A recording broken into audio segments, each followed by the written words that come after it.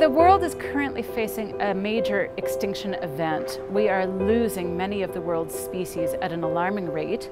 Currently in Canada, we label species at risk under the Species at Risk Act. And this act actually goes through individual species, looks at all the biology that's known, and identifies whether we think they are at risk of extinction from the planet.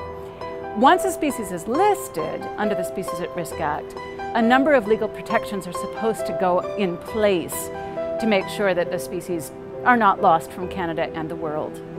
My name is Karen Hodges. I'm an associate professor at the University of British Columbia, Okanagan.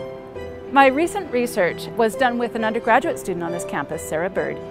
And what we did is we looked at all of the species at risk listed under the Species at Risk Act to see if the legal provisions were being followed for these animals and plants in Canada.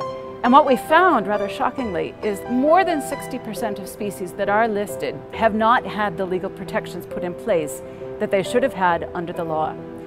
Canadians simply are not following their own law when it comes to protecting species. I think we face a fairly stark choice. If we want to protect species, we need to use tools like the Species at Risk Act to the fullest extent possible. If we continue just doing business as usual, making economic decisions, social decisions, destroying habitats, overharvesting, putting in roads, all this sort of thing, we run a real risk of losing some of these species.